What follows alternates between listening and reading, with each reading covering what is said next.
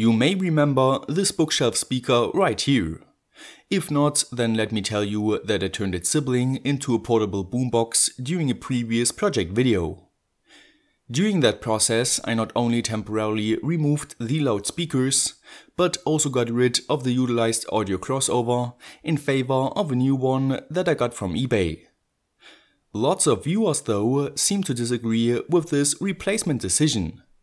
So in this video, we will find out how exactly audio crossovers and thus passive filters function, and how to theoretically calculate those in order to find out whether it makes sense to replace an existing audio crossover or even create a DIY one. Let's get started.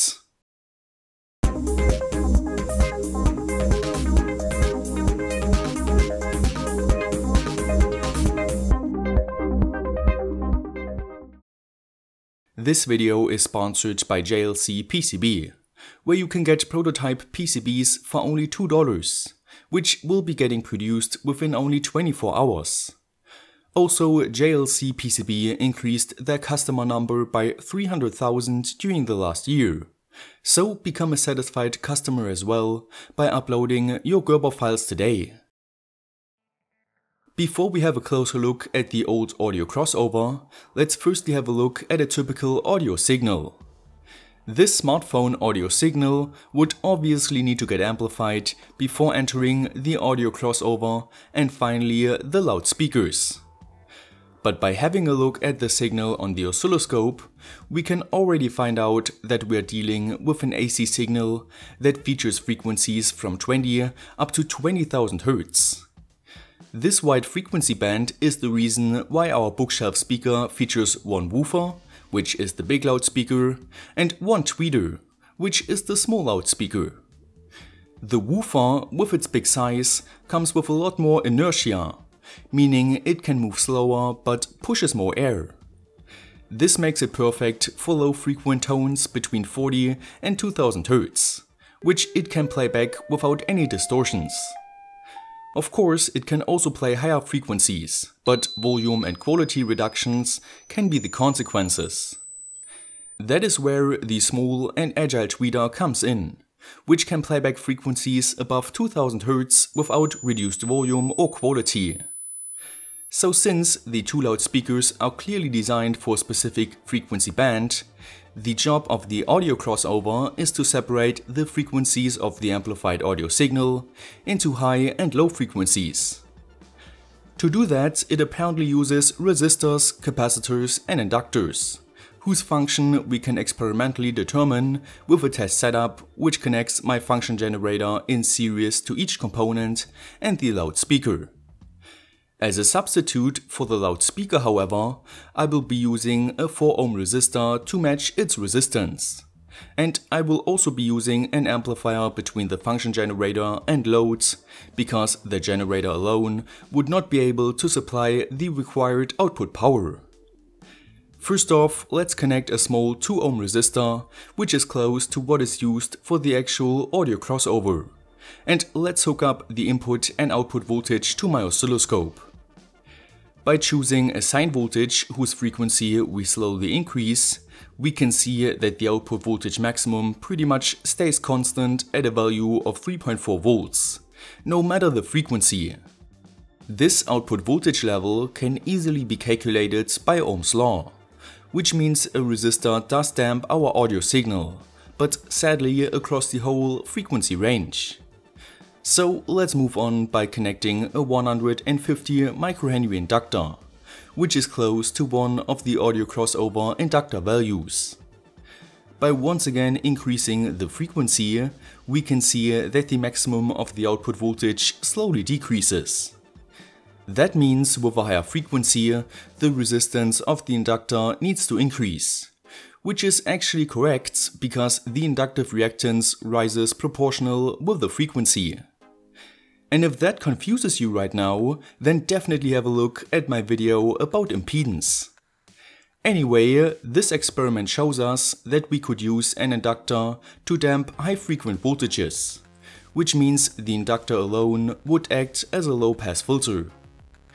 Now if we try the same experiment with a 10 microfarad capacitor, which I stole from the audio crossover, then we can see that with a higher frequency, the maximum of the output voltage stays pretty high, and only with lower frequencies the maximum decreases.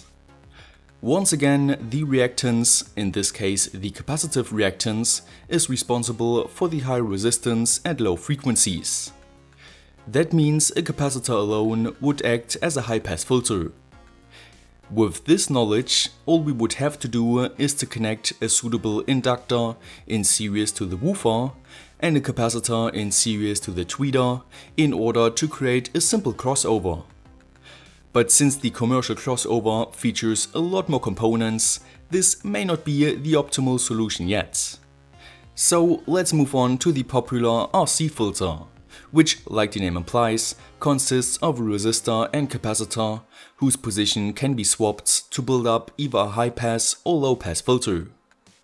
Since the high-pass filter is pretty similar to the example we already talked about, let's for now focus on the low-pass filter, where the output voltage drops across the capacitor and the input voltage across the resistor and capacitor. That means we build up a voltage divider and by doing a little mathematical magic, we can find out that the formula for the output voltage looks like this. As an example, let's use a 10 microfarad capacitor, 10 ohm resistor, a max input voltage of 5 volts, and a frequency of 5 kHz, which should give us an output voltage of 1.51 volts. After building up the circuits and measuring the output voltage, we can see that our equation was in fact correct.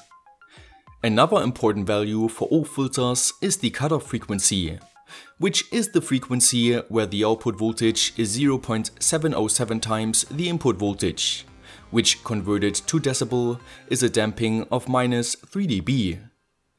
The formula for the cutoff frequency for the RC high-pass and low-pass filter is the same and looks like this. So with our previous example values, we would get a cutoff frequency of 1591 Hz, which by adjusting the function generator to this frequency seems to be correct. Above this frequency, the low-pass filter damps the output signal with minus 20 dB per decade, which means 0.1 times the previous input value per every 10 times the frequency. The high-pass filter obviously uh, damps the output voltage with minus 20 dB per decade underneath its cutoff frequency.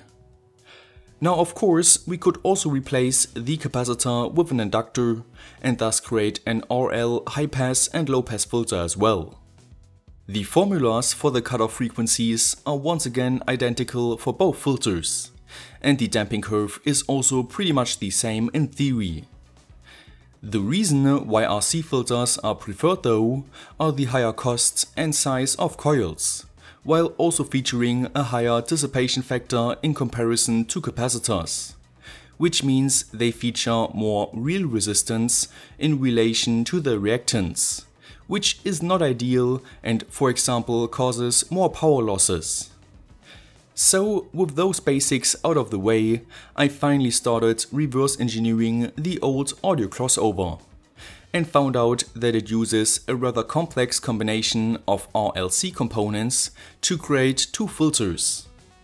Calculating those can be quite challenging, so let's firstly find out why the circuit partly only uses L and C components. The reason is that our RC and RL filters only offer a damping of minus 20 dB, which means unwanted frequencies will take a while to be completely filtered out. Such filters are called first order filters, because they come with one frequency dependent component. So to get a second order filter, we can simply combine an inductor and capacitor to form an LC high pass or LC low pass filter. This way, the damping increases to minus 40 dB per decades, which removes unwanted frequencies above or beneath the cutoff frequencies much quicker. And speaking of cutoff frequency, the formula for the high pass and low pass is like always the same and is for my simple example here around 4.1 kHz, which by doing another simple measurement seems to be correct. Now sadly, uh, those simple formulas do not work with such crazy filters. But to make our life easier, we can simply download the VituixCAD 2 software, in which we can rebuild the old filter design to find out that we got one low pass filter with a cutoff frequency of around 700 Hz and one high pass filter which pretty much always features a damping of underneath minus 3 dB. I also confirmed those values by doing a couple of measurements with the crossover.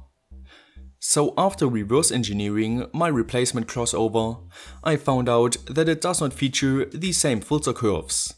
Which is bad because every loudspeaker comes with its own frequency response, since a loudspeaker is partly a frequency dependent inductor for which the original manufacturer created a precisely tuned audio crossover to get the best sound quality. So all in all, we learned that my audio crossover replacement was stupid, and that DIYing an audio crossover is definitely possible with the VituixCAD 2 software, at least if you got the frequency response file for your loudspeaker. But don't think filters are only useful for audio applications, because they are also used for mains filters, or for example to turn a high frequent sinusoidal PWM signal into a proper sine wave. I hope you enjoyed this video and learned something new. If so, don't forget to like, share, subscribe and hitting the notification bell. Stay creative and I will see you next time!